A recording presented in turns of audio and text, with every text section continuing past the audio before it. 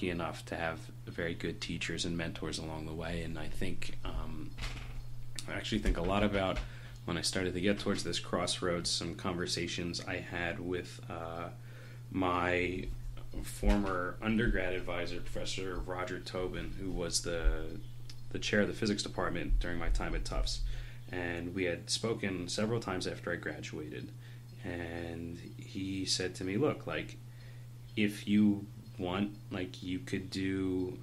You could do your physics PhD. Like I know you've got it in you. It wouldn't be easy.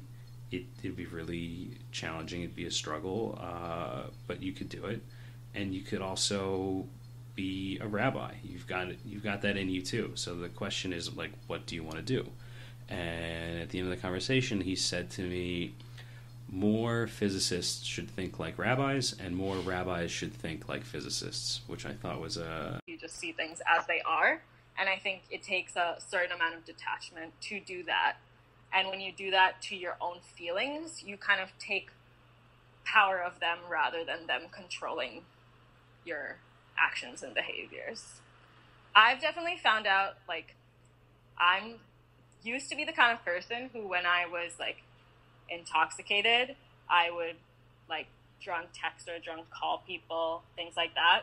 And then recently, I think about a couple months ago, I had gone out and had a couple of drinks and like someone had someone had sent me some like kind of stressful text messages who I was kind of flirting with and I decided that I was too drunk to respond, so I didn't until the next day. And then I remember telling one of my friends who's known me for many years about that, and he was just like, "Wait, I can we go back? Like, I'm so proud of you. Like, you've grown so much." Yes, if it if it's something you're interested in, I would definitely recommend it. Uh, try it for a while, see how it feels. Um, for me, there was a lot of letting go. Like I had to quit my job. I had to not have a place to put my things for a while, and that was interesting. I didn't totally get rid of all my stuff like some people do. Hi. yeah, I yeah I didn't take it to the extremes as everybody, not everybody, as some people do. But at the same time, I did what I was comfortable with. So I would recommend it as far as in like figure out what you're comfortable with, and if you really feel called to it, try it out nothing is forever, nothing's permanent. You might have a hard day, you might have a bunch of awesome days. Just take it as it comes. But I could see this lifestyle that I've been living, I could see it working for a lot of people because I've traveled to a lot of places, and one of the first things out of their mouths after we've had five minutes of conversation is, "Oh, I wish I could live that way." Yep. And then I always ask them, "Well, why don't you?" Yep. So I guess it all depends. I shouldn't say for everybody because, you know, the inter- making money on the internet. I mean, there are so many different ways. Like I, I sometimes have to think and remember that even the way that I make money on the internet, it's not the, it's not, it's in, it's actually a weird way in terms of making money on the internet. Other people make it in so many other ways. That's a good you know, point. some people, my my job essentially is my work on the internet. Um, but some people, or sorry, my like passion, which is spread the vegan message and show people my adventure. That's my way of making money on the internet. But other people, let's say your passion didn't result at all in like something that people wanted to see on the internet or would support you, you can also like trade stocks on the internet and and make your money that way and then go Right, right, totally. And that's us once excuse me, once again trying to figure it out. Mm. So that open pause has to have patience because it doesn't just happen in a second. Um, but the uh,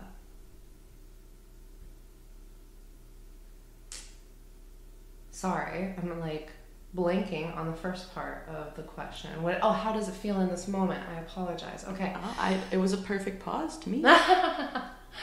so, um, finding the flags and the little like sensors in the moment takes practice, you know?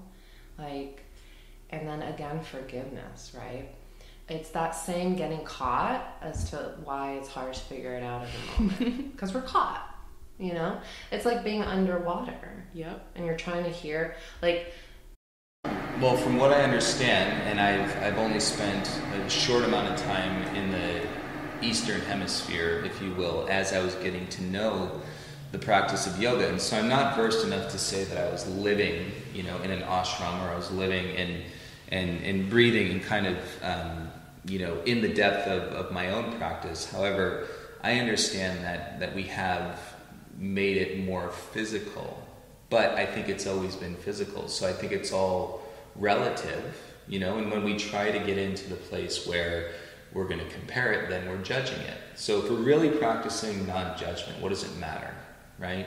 Where does it ultimately depend? Um, I think there's an infinite amount of explanations, right, through curiosity of students, where this is kind of how I love to treat these conversations, or if students bring them up, is is being involved in the conversation is enough. Try not to. Yeah, and I think it's and she's always been super inquisitive, but I think it's like helped me to become more inquisitive with Mhm. anyone, you know, Yeah. um, rather than just people who I think I can learn from. Like I'm Mhm. gonna learn from anyone if I allow myself to ask the right questions. Mm-hmm. So yeah, I just find myself doing that more and taking the time, you know, and not being so rushed in my interactions Mm. because it we found even through podcasting that like it kind of takes a little bit of time for people to warm up to open up so to not rush through interactions. And and also I think I've always been a good listener but I think I've gotten a little bit better. You know just like kind of being more present. I, I I think okay I've always been a good listener but like being more present in the listen It's that kind of you can philosophically dispel, but rationally they like hold some weight. You know, it's the same thing as what we're talking about with balance. Of like Mhm. philosophically, I can completely destroy in my mind the idea of balance, but rationally I understand that like I'm balancing on this chair right now.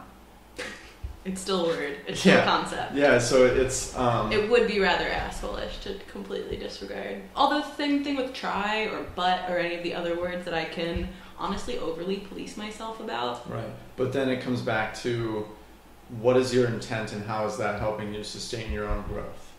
Because if you Well, walk around like sustain. thank you. If you if you walk around and like you hear someone say try, I used to do this actually. I would like Correct give them, them? a lesson. Yeah, same. That shit is But- unsustainable. Yeah. Speaking of Well, I'm 26. Like, what lesson am I really going to teach someone about like linguistics or something, other than collectively swinging the other way and people are talking about everyone is just a mirror of you and talking about Yeah. mindful speech and communication and It's so true. It's crazy. I never remember like when I was younger, nobody would talk about this stuff. Like I don't know if it's oh. just me or like nobody was talking about letting go. no, not at all. It's so funny. Um, but yeah, it's. I think people are just becoming more conscious. I think that's what it is because we're so much more than just like this physical body, and yeah, I think that's something I've noticed, which is like wild to think about the last few months. That like everyone really is just a mirror of you, and like once you change yourself, like the people around you will change, and it doesn't mean like that people it could mean that people around you will start to leave and like new people that are on your level will like come into your life but it also could be that the people that are already in your life are just gonna level up with you and and I take my headshot to the bucket, and then I walked into his office, and I was like, and I, I walked into his office and at lunch, and I was like, hey, is uh so and so here? And they're like, yeah, he's in his office with you know his assistants. I was like, cool, I had lunch, dropping off lunch, and they go, oh yeah, sure, walk in there, go in here, and I go, uh, I go, hey, uh, so and so, he's like the biggest cast director in, in LA for commercials, and I'm like, hey, uh, so and so, my name is David Murphy. Uh, you clearly don't like me, and that's okay. I just want, and you haven't brought me in, and uh, I go, uh, I just want you to know, black people have been using chicken as a peace offering for years, and I want you to have this on behalf of me. so we're friends, and you start bringing me in for auditions, and he started busting up laughing. He's Yeah, like, that's the.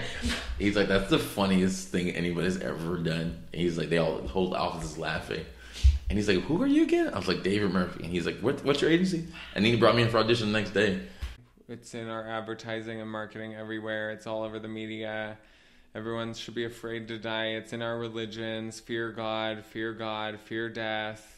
Um, you're going to hell, judgment day. It's just ridiculous. Um, and I've just found like on other places, like in on in Eastern cultures, um, death is like celebrated. Um, I remember ending up at a funeral in Thailand on accident because I didn't speak the language and I thought they were having a big party that I got invited to. and I was so excited to be there. And I was sitting in the service, smiling at everybody, waving.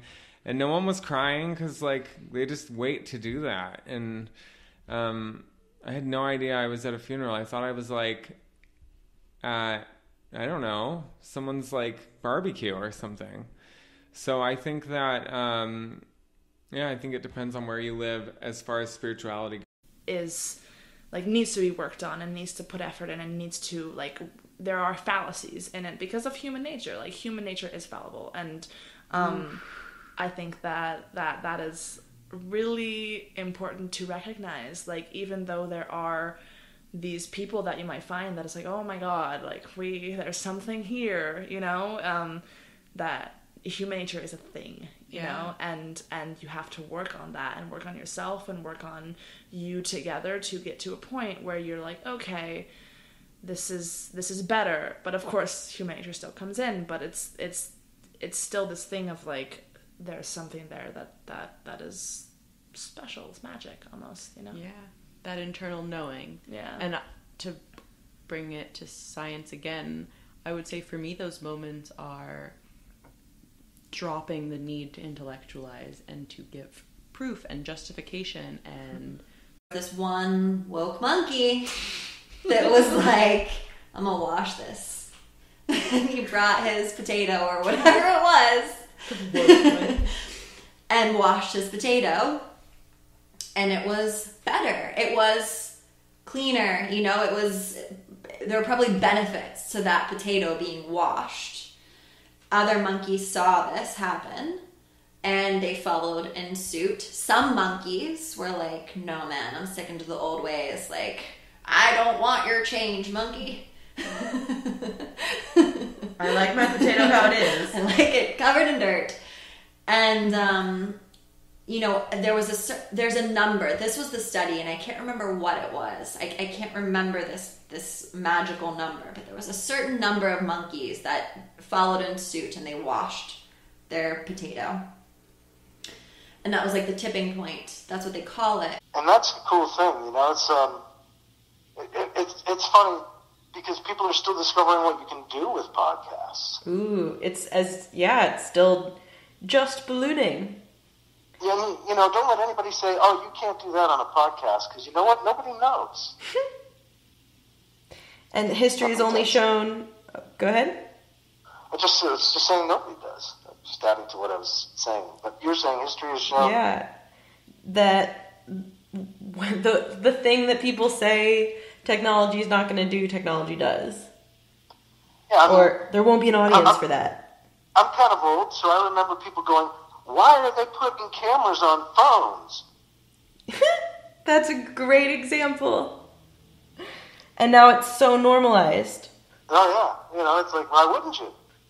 That's so interesting. I wonder also thinking about what you're saying with your story that that was part of you getting into podcasts. Like Chess for mm-hmm. Dummies and Feng Shui for Dummies, two tomes I live by, by the way. That's how I learned how to do chess and Feng Shui. Whoa, cool. But I feel like, you know, sound baths are almost like meditation for dummies. And I don't want to misspeak. Like, it's, you know, I don't want to misspeak, but if you've never meditated before and you're like, I'm scared of that, I don't think I can do it, I don't know how, the sound bath will get you into a meditative state. It gets your brain and your body into a meditative state. You don't have to do anything but let it happen and just lay there. And um, the great thing about that is the, you know, once you've been to a meditative state once, you know what it feels like and you can find your way back there more easily whether it's through another sound bath spontaneously or through uh, trying to saying okay i'm going to try to meditate now Wow. Yeah, and- that's a mind blowing thought. It's really true. It makes a practice that can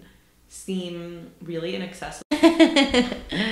Well, I feel like intimacy is personal. I feel like that's a different spectrum. And like, The- like words, don't take words personally. But I don't know. I got a thing about my my body energetically when like I just think we're gonna talk about sex now. Okay. I just think I gotta, I gotta interrupt to share the Uh-huh. Debra Silverman video you Oh, yeah, brought yeah, up, yeah. and she talks about What did she say? intimacy. Into me, I see. And that's a Scorpio thing. Into me, I see. Is it damn truth? I forgot. Oh yeah, yeah, yeah. I just think like sex is the most Vulnerable, intimate, like personal. emotionally physical. That is the most personal thing you could do. And what I don't understand about our generation is like, how could you? Oh my god, I tell my girlfriends this all the time. How could you be? How could you have sex with somebody and then worry about what you're gonna text them? How could you do that? you know, equality, you know, to make this like a better world, you know? Because at the end of the day, we're listen, we're in a really fucked up time right now. Um, I think, and this is gonna sound crazy, but I think white pe- white people, especially white men, are kind of realizing the days of being mediocre and and is is coming to an end. And what I mean by mediocre is if you're a white male and you you ask a white male this and they'll spit in my face and they'll never think this is a thing, right? But if you really think about it, if you really really like study and analyze success, right? You would see that like Makes you think of compartmentalization, or do those seem more separate? Um, no, I think focus is focus is a fine way of looking at it. Yeah, I mean, there's there's things I have to do and there's things I want to do, right? And it's like, which one am I going to focus on? And you know, obviously, focus. You know, get the things I have to do done, but also save space for the things that I know that Jeff needs in order to do a better job at other things. And so I think focus, you know, I, I keep coming back to self care. I think like that is that's a real word that I am reminding myself of kind of on a daily basis. Sounds super selfish, does I hope my wife I- isn't listening to this because um, but you know I hope she does. Hello. Hello. Um, but it's if I don't focus on that first, everything else is just yeah. I agree with that. Some of the a perfect example of this. So, with my ex, we basically in the beginning of our relationship, he was like, okay, because I think I had started training for, I was well into training for the Olympics again and all of that. And so he was like, okay, this is what it is.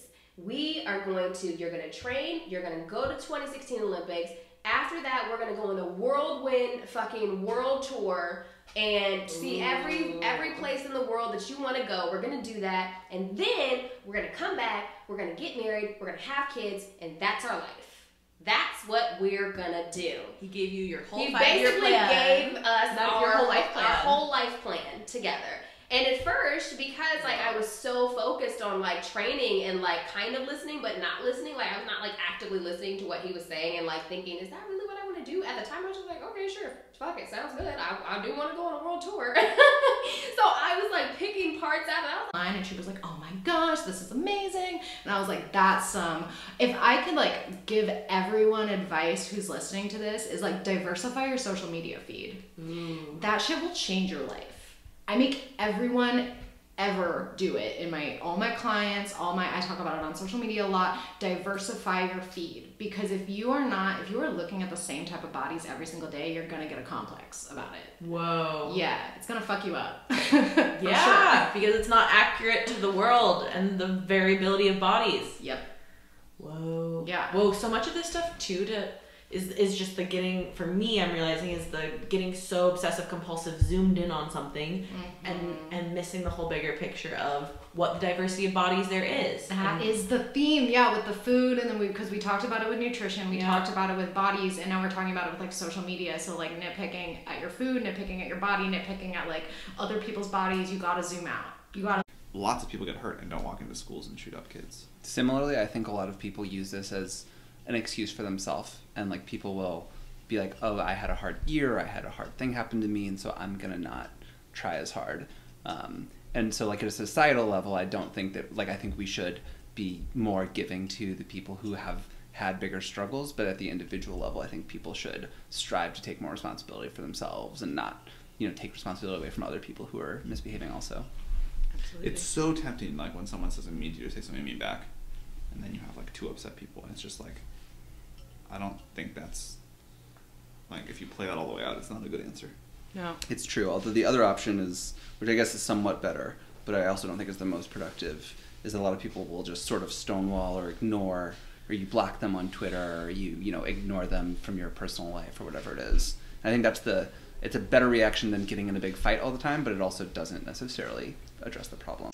always there and always helping me to be more balanced in my life. And to me, the transition happened with um, my best friend at the time having uh, gone through some difficult period, falling into a really terrible depression. And um, I just convinced her to start doing yoga with me because I knew that yoga had helped me. And her recovery was so fast that I wanted to learn more. And um, so I just signed up for a teacher training in therapeutic yoga just with the intention of understanding more because I'm a bit of an intellectual slash geek and I like to understand things. So I just wanted to understand how yoga works and how yoga can heal. And that's where I really had my, my deep contact with um, yoga philosophy and I just Or some awareness of time? Would we have an awareness of things changing even? I don't even know. Maybe not. It's possible. Why do you say that growth always feels uncomfortable? As I feel like in some ways you're someone, and part of why I wanted to talk about this topic with you is that you love change and growth and Yeah, I mean, I do, but it's also still comes with um, all of the emotions too. Like, you still have that, but in a weird way, I kind of crave that. I like just crave growth and learning more and seeing more, meeting more people, doing new things constantly. Um, I guess Geminis just get really bored really easily, and we have to be like constantly be still on stage like actually helped me with this because I, I actually filled in for that play like the guy was fired and i had to learn his part in like a week wow. and uh and i was like terrified To my- take on a whole new persona. yeah and I- my, my, my AJ the Army Man. right aj the actor um that was kind of i was just freaked out i was i was like oh my god i'm not going to be able to do this right and and i remember in the rehearsals uh one of the guys that owned the theater was like you know uh you, you can't you know you're a dancer but don't be so you know Expressive. expressive like because i'm so used to not i'm so used to telling a story on stage without my voice at all you know Whoa. as a dancer, you have to do all this pantomime and you have to make the audience know what's going on in the story without even using your words. And so that's, I'm used to everything being very